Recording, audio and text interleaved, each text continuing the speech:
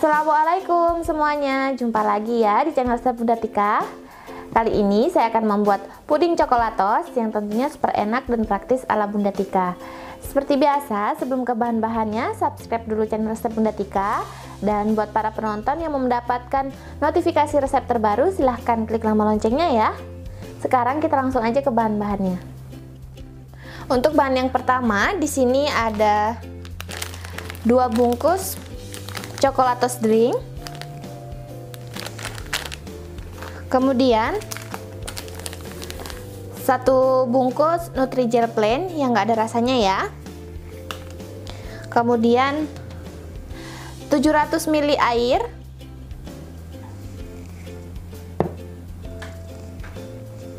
Empat sendok makan gula pasir Di sini saya pakai 12 sendok makan susu kental manis atau sesuai selera ya. Jadi kalau yang kurang suka manis boleh dikurangi, kalau yang suka manis boleh ditambah. Kemudian setengah sendok teh garam. Dan untuk bahan flanya di sini saya sudah siapkan 300 ml air. Kemudian 2 sendok makan tepung maizena. 1 butir kuning telur.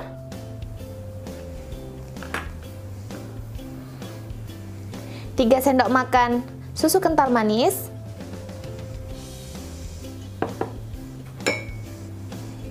3 sendok makan gula pasir. Boleh dikurangi kalau uh, kurang suka manis ya. Kemudian setengah sendok teh garam.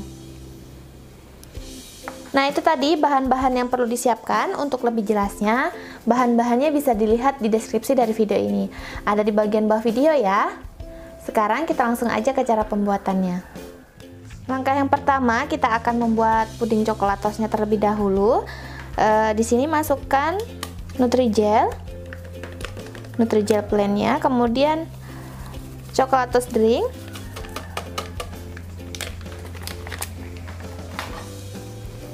kemudian gula pasir,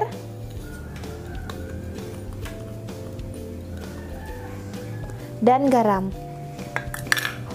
Kita aduk dulu semua ya.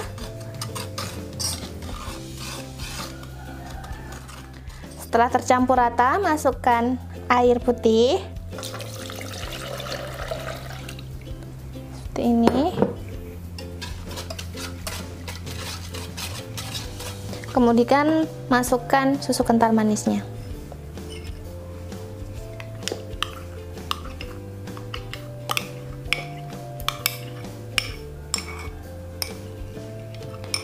Jadi kalau pakai susu kental manis saset boleh pakai 4 saset ya.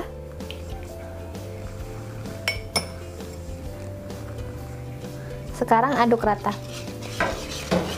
Aduk sampai nggak ada yang menggumpal.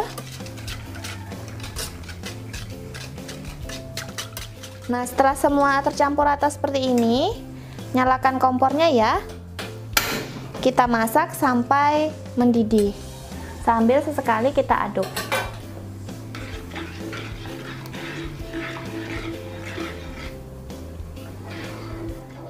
Nah ini pudingnya udah mendidih. Sekarang kita matikan kompornya kita biarkan uap panasnya hilang. Dan jangan lupa siapkan e, cetakan yang udah dibasahi dengan air matang. Oh ya bunda di rumah jangan lupa subscribe channel saya Bunda Tika ya. Saya tunggu like dan komennya. Nah sekarang kita masukkan cetakan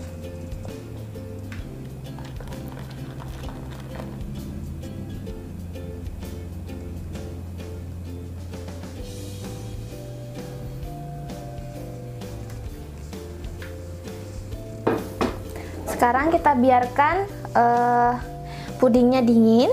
Sambil menunggu pudingnya dingin kita akan membuat flanya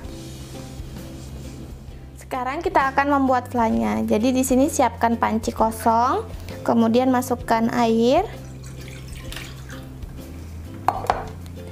gula pasir. Jadi kalau di rumah uh, bunda di rumah nggak uh, pengen ribet nggak mau pakai fly juga boleh ya puding kayak gitu aja udah enak. Kemudian garam kita masukkan. Susu kental manis.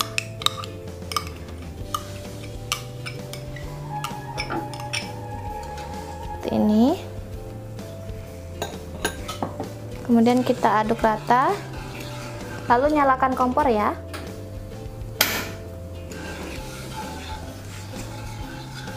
kita aduk-aduk sampai uh, agak mendidih.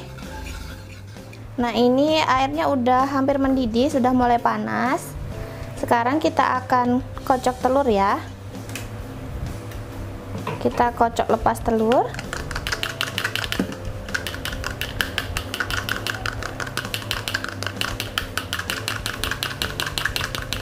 Seperti ini kemudian tambahkan di sini ada air yang udah kita rebus. Seperti ini. Lalu kita kocok lagi.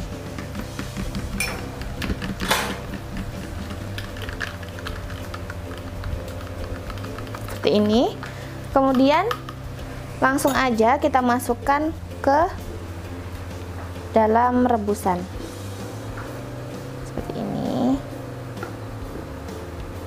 jadi warnanya itu agak kuning ya dia. Kita aduk-aduk sebentar sampai mendidih. Kemudian setelah mendidih eh, tepung maizenanya kita larutkan dengan sedikit air. Jadi ini tuh bahan pengentalnya. Lalu masukkan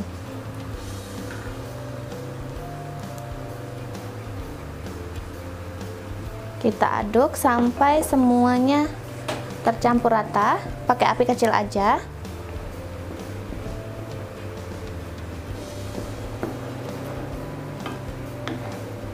Kalau mau ditambahkan uh, vanili ekstrak atau vanili bubuk boleh ya. Nah setelah semuanya tercampur rata sekarang kita matikan kompornya ya lalu kita sisihkan. Jadi nanti kalau pudingnya udah mengeras jadi flanya itu bisa disiram atau pas saat makan baru ditambahkan flanya nah ini pudingnya udah dingin ya udah mengeras. Sekarang kita balik kita keluarkan dari cetakannya.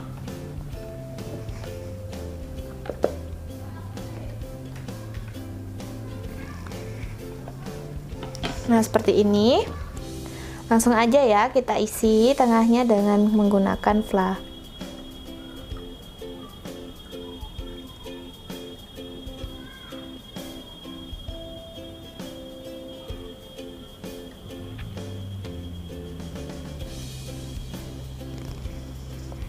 Nah, seperti ini hasilnya. Ini siap untuk disajikan atau disimpan di lemari pendingin. Jadi lebih enak ya kalau dalam keadaan dingin. Nah, ini dia hasilnya. Puding coklatos yang super enak dan praktis ala Bunda Tika ya. Silahkan dicoba resepnya di rumah, semoga resep ini bisa bermanfaat. Jangan lupa subscribe channel resep Bunda Tika, saya tunggu like dan komennya. Bunda di rumah, kalau video ini bermanfaat silahkan di share ya. Sampai jumpa lagi di video selanjutnya. Assalamualaikum.